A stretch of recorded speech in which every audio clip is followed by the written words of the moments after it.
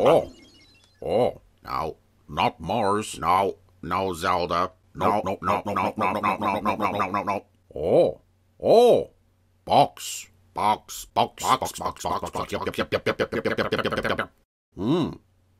Red bit. Red, red, red, red, red, yep, yep, yep, yep, yep, yep, yep, yep, red, red red, bit, yep, yep, yep, yep, yep, yep.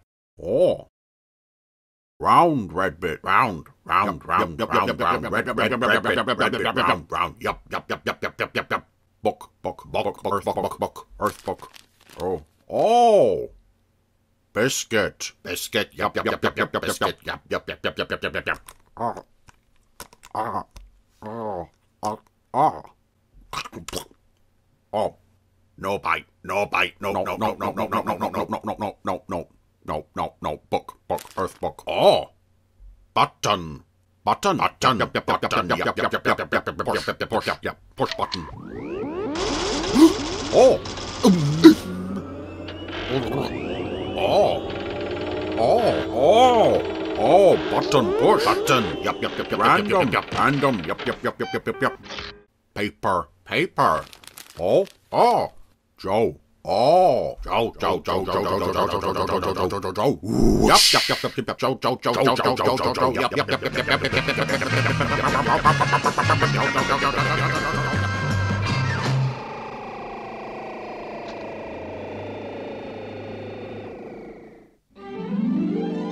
So, after a, uh, a fairly intense two-parter, a, a fortnight of two-parters with the Bringers of Wonder, welcome back to the randomizer Joe 90, and uh, also welcome back to the randomizer Joe 90 after a, a, a, fair few weeks of the podcast being a bit mean to old Joe, I would say, uh, as it often is, unfortunately. But there have been some Biggest plane I've ever seen, Uncle Brad. specific comments made. Joe, it's an OGT. So shut your Full mouth. glide transport. The world's most advanced concept in aerospace passenger transportation. But here I am, always ready to defend Joe 90 because I think it's absolutely brilliant. And uh, it always makes me so happy. I was thinking that again just watching the opening titles. Despite the fact that this episode is, um, you know, it's, I don't think it's the, the finest uh, example of the series by a long way, Complete. Motors 1 to 12. but it's still very enjoyable. Uh, I, this is another one Cabin temperature normal, pressure normal. where I can say I have uh, fond nostalgic memories of this from the VHS days. Gyros set on course. Yes, I've spoken a lot about VHS, and this was uh, an episode I, I got on a tape, ex rental from the library. There are, of course, other countries uh, developing an orbital glide transport brand. One other country. About a year behind us in development. We won't name that country. It's a foreign land stand. Share of trouble on ground tests. Yes, I had this on a, on a videotape with See You Down There and The Birthday, both of which we've already covered, and Mission X41. So I watched this over and over and over.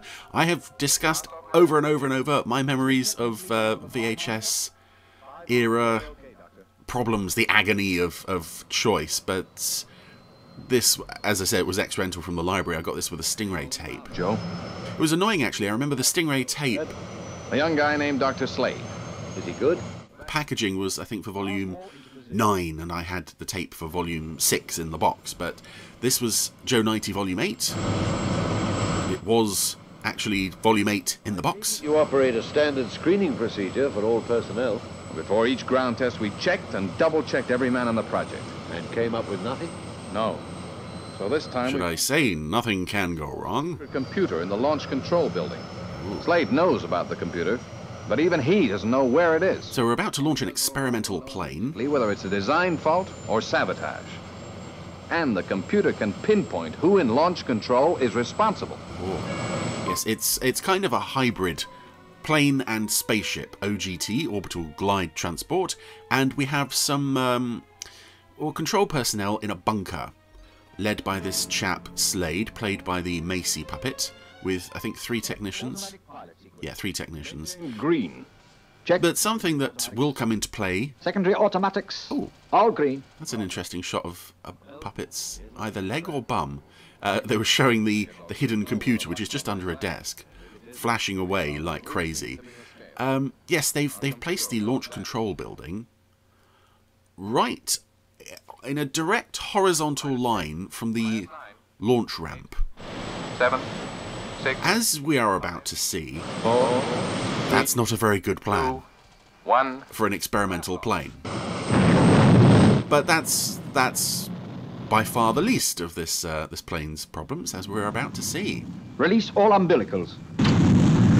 And I do like the, the look of this thing, the hybrid nature of it. You know, it's, it looks like a plane, but it's got these rockets attached to it, taking off from a launch ramp, um, similar to, to XL5 in a way. I also remember this turned up as a spaceship on, on a, on a TV21 cover, I want to say. She's not really moving yet. Go on. Go on. I hear you, Mr. Johnson. I was just taking a moment to warm up, but now I'm moving. Uncle Brad. But not fast enough, Joe. Slade, close down all motors. Say again? An all motor shutdown, Slade, now. Yes, I believe this plane has no crew, uh, is guided entirely by computer. Closed down. Malfunction on 5, Doctor. Can't shut out. Oh, bother. Emergency clamps into position. Yeah, emergency clamps. This will stop it. These, I love these. These tiny little bits of metal Signal red alert. that are supposed to stop this runaway Leviathan plane. And here we go. Well, that's the emergency clamps taken care of, and now the plane is swooping off the launch ramp. Do you know it's heading straight for the launch control building? I like that insert shot of the uh, of Slade and all the technicians inside, covering their heads with their hands. Slade, are you all right? Yes. Well, okay. He's okay. We've got a lot of emergency people on the way. Get your men into the ejection capsule immediately. And really, it's a nice setup for a Thunderbirds episode. We have this. Team be able to get out, Dad. As long as the rocket doesn't ignite. If that happens, the launch control building becomes one huge concrete oven. Oh, there's a cheerful image. Yeah, this plane balanced very precariously on the edge of the launch control building. We've got people trapped inside. Hurry, Doctor. Don't wait for me. I'll take the reserve escape capsule. Slade doesn't want to come along. Down, you'll be sealed in here. It's a risk I have to take. It's my responsibility to salvage launch data. Interestingly, there are three technicians. Uh, the capsule. But we only see two in this capsule. So either, I mean, it's a curved capsule, so it might just be that we can't see one, the other guy from that angle, or it could be that the third one died. But I think that's unlikely. We don't see a body anyway. The roof has now caved in on the launch control building. So having got the technicians clear, Slade is trapped inside. And it's a nice uh, interior set for that launch control building. Lots of familiar computer banks and and th- those lovely um, spool tape computer bank things, Dr. Slade, are you receiving? which of course turned up in uh, in UFO on the walls of Skydiver. Why didn't he use the reserve escape capsule? He could be trapped in the rubble. I like that Mac and Joe have both worn suits for this occasion. Slade'll never get through that. Which means we can't recover the concealed monitoring equipment. Right. And this map they're standing in front of, I recognise this map from Captain Scarlet. We need outside help, Mac. I don't think it's the um, Frostline defense map, which turned up a few times. I, I, maybe I'm wrong. Maybe this was a map just created for this series. I seem to recall it was in Attack of the Tiger. Anyway, Mr. Johnson, manager of the uh, the plane what has crashed. Mr. Weston? World Intelligence is not a rescue outfit.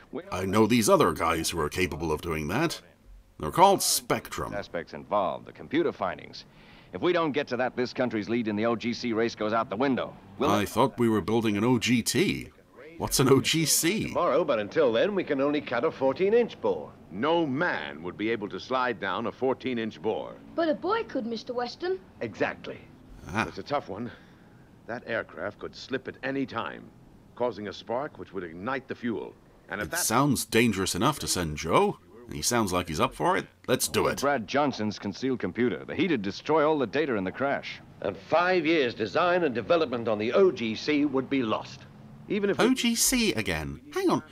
Hang- Right, I'm going to check that. I'm sure he says it's not a plane, Joe. It's an OGT, Orbital Glide Transport.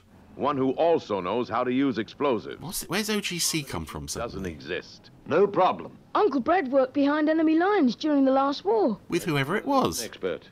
You mean we could give Joe Brad Johnson's brain pattern? Why not? Can you think of a better man for the job? I'm sure he won't mind donating his brain for science.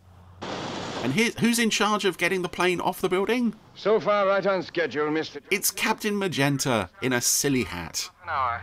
Ah. Meanwhile, Brad Johnson has retired to his office, which is well stocked with booze.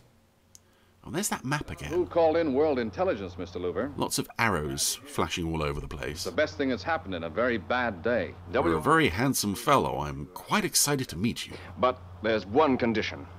Once that drill has done its job, I want the whole area cleared. He's brought his suitcase with the, uh, well, the obvious antennae, for which he can transmit Brad Johnson's brain Now, back to the big rat.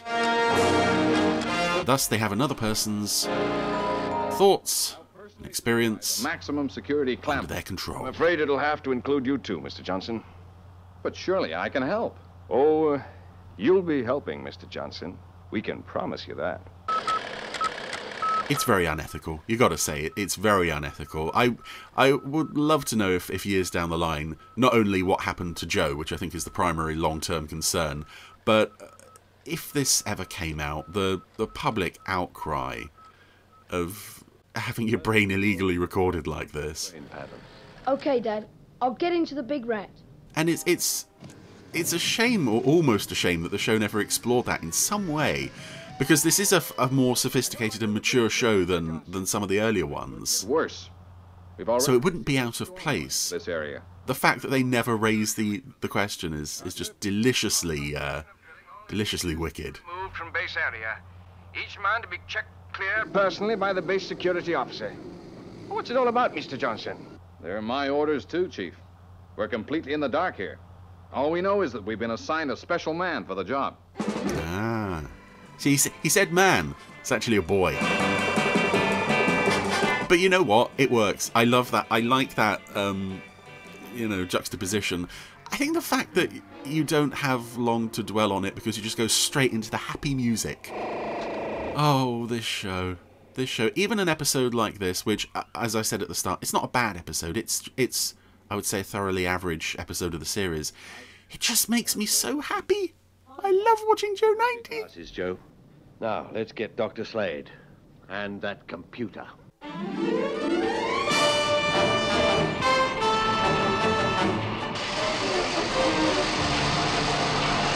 So we're now cutting a, a borehole into the building. Yeah, I like the look of this as a, a setup for a Thunderbirds episode, even if the, you know, the, the rescue equipment that they've brought in doesn't look particularly futuristic. Come in, Dr. Slade. This con- this control room set more than makes up for it, though. I think there's some medical equipment scattered through here. Oh, the um, cloud-based lounge chairs are also here, which Come in, Dr. I think at first been seen in Thunderbirds Are Go. Slade. Oh, ah, there he is. Not until I've found that computer. And just that sudden cut to him standing there completely unharmed, because that puppet played so many Mysterons, almost for a moment I'm inclined to think he's a Mysteron replacement. We'll have to assume the worst. He's a Mysteron replacement. Thanks a lot, Chief. The Mining team? They've just broken through. The problem's all yours now, Sam. But for the life of me, I can't see how you're going to handle it. Leave it to us, Mr. Johnson. Okay, Sam. Now, you know where the computer's located. In Hmm, I also know where the booze is. That's what I'm going to start on first. down there who'll understand my programming. Don't worry, Mr. Johnson. We plan to use someone who'll understand it as well as you would yourself. What I mean is, we've stolen your mind. But don't worry, we'll put it to good use. Ah, there he goes. Hold it. Joe is being lowered into the borehole. A, sh- a shot of Mac kneeling as Joe is lowered in almost makes it look like the puppet's got no legs. See when you are. Okay, Sam. Yeah, he's, the puppet hasn't got the bulk to make that look particularly realistic. Anyway, there's Joe's feet, followed soon by the rest of him. Weather forecast can hardly be worse, Mac. Electric storms approaching the vicinity. Oh, it would be. And this episode was also mined for clips for uh, an episode of. Rory Bremner's show at the time. I think the clip is still on YouTube of uh, um, John 90, of uh, Joe having been given the brain pattern of uh, John Major. Yeah, they use a lot of clips from this episode, and I get the feeling it was just they'd asked for an episode of Joe, and this was the one they were given this and Most Special Agent. So they had to make the, the best of it. Ah, it's Murphy. There's a name. There's a name on the crane I've been trying to make out all this time. About lightning is the last thing we need. But thanks to high definition, of course, we can see it. Yes, Murphy's cranes are here to help. I can also see. I, I can't remember what they're called. Is it is it sprues? What do you call the the things that the, the parts of a model kit come in? Once you've pushed out the model pieces, they would sometimes reuse those those holder bits. There's some of those on the outside of the launch control building. Look, I know this sounds crazy, Mac, but there's no sign of him. I mean, there's piles of rubble and debris everywhere. I suppose he could be buried, but Joe, I haven't seen any blood. this Slade must be trapped under the debris. I don't see any other answer, Mac. So I'm coming back up. Oh no, he's hiding. Find the computer Looking very sinister. There's something else this puppet is very good at doing. as you doing. can. And again, I think I've discussed this before. The reason that puppet played so many Mysterons Hurry it up, Joe. is because he had the ability, he had a blinking head so he could uh, close his eyes, which he'll be doing later on in this episode. Anyway, Joe has now found the computer, and he's also found. Hold it there. Dr. Slade, Tell me, what's a kid doing down here? I'm a WIN agent. Part of my job was to rescue you. I see now I shouldn't have bothered. Ooh. I never could stand smart kids. Hmm. Now keep your hands off that microphone. Yes, this is all a, a cunning plan of Dr. Slade's to find the computer that was indicating the sabotage by being in the building that had that computer in it and then crashing a plane on top of the building. For you. It's a flawless plan. Things convincingly. Then sit back and wait to be rescued. It's all falling into place. You knew about the computer. So why go ahead with the sabotage when you were certain to be found out? This was the test flight. I had to ensure it ended in failure. I gambled on finding the computer in the confusion. Now, you found it for me. Being buried alive was all part of the plan. Uh, it does push credibility to breaking point, his, his plan. Part of the OGT wreck, I presume. Not part of it. The whole aircraft is balanced on the edge of this building. What? If it And he didn't even know. room hotter than a brick kiln. He didn't even know. To fall. So either he assumed that it missed and only partially hit the building, or it was destroyed on impact. Probably the beginning of it. It's a, it's a fairly big risk to take with your life for a, a little computer which isn't that well hidden. Lightning ignites the rocket fuel. You are a clever child, but I don't buy that story. It's too far fetched, unlike my plan. Rescue me. My guess is you planned for us to wait until a bigger drill was brought up in the morning. A poor guess, Slade. I was going to leave you here to burn. All clear of the escape vent. And to use one of the ejection capsules to get clear. You mean they were entrusting a tricky demolition job to you? What do you know about explosions? I know. Everything. He's Joe. He's Joe 90. What doesn't he know about explosions? He knows a lot about causing them, Precise amounts of explosive energy. usually with missiles It can crack an egg without breaking the yolk. or grenades. Don't talk like a kid. You're in a jam, Slade, and you know it. And despite the ridiculousness of Slade's plan, I do like this this confrontation between him and Joe. Deal, Sonny. Not when I hold the ace of trumps. The ace of trumps. Oh. It's those charges. Yes, he's he seems to think that because he's got the gun, he's uh, he's in control of the situation. I think at this point the plane is in control of the situation. The plane and the oncoming storm Joe? that threatens to blow it all to bits. No answer. Don't like it, sir. I don't like it at all. Well, I think this is a fairly good situation. You know, what's what's the worst that could happen?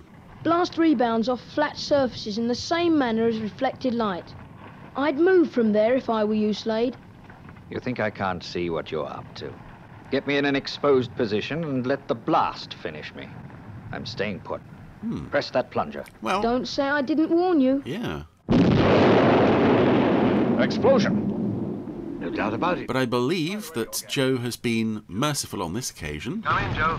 Oh, that's it. Slade is out again. He's got his hands over his head. Joe, what's happening down there? A spot of trouble. I found Dr. Slade. Tell you about it when I get out of here. Make it quick, Joe. That's it. The plane is wobbling. Oh, yeah. One end of the launch control building is just crumbling at this point. It can't hold much longer, Mac. And although it's not a like hugely spectacular image, as I said, it is a nice uh, scenario for a rescue operation. It doesn't need to be massive Hurry, Joe! Hurry! or a huge special effects extravaganza Clear. I'm just getting Slade into the capsule. to be a threat. Joe's right, Mac. Sure, sure. And again, Man. some nice Rupert Davies worried acting here. Also with Keith Alexander in strong support as well. Look, I know how you feel, Mac, with Joe down there, but there's nothing you can do to help. Sam, you bring the car up. I'll be ready when you get here. And this is nice. Just this long, slow close up on Mac's concerned face with that music. It's very effective. Again, it's it's largely due to the voice actors. Oh, that's it. The building has gone kablooey. Sparks on all the consoles in the bunker. Mac, as soon as you're clear. Eject, Joe! Eject! And they're away to the sound of the Angel Interceptor launch and kaboom! Well, it was a very small kaboom. Not, uh, not a particularly massive kaboom. But hey ho. And there he is. Falling to Earth. He's made it okay. Oh, we still got some more explosions. That's okay. Yep, the plane definitely says OGT on it. So what was all that talk about an OGC? Were Sam and Mac did they did they arrange to go to the rescue of the wrong plane? Somewhere out there there is an actual OGC that's in in real trouble. He made it. It doesn't matter now anyway. Because Joe is safe, so is Dr. Slade, who is presumably going to go to prison as an agent of unnamed foreign country. Did naughty things. Slade was the traitor. I worked with him for ten years. I can still hardly believe it. I know how you feel. And he's drinking. Yes, he's finally helped himself to the booze. No basic design fault in the OGT. Entirely satisfied. Now the OGC, oh, that's a complete disaster area. Mystery solved. But a whole lot of others have opened up. What do you mean, Uncle Brad? Well, Joe, such as how WIN managed to find someone who could handle the computer side and knew enough about explosives to blast clear the ejection vent and was able to get down a 14 inch shaft. And why I hired Captain Magenta to supervise the rescue operation. Something about a boy. A boy?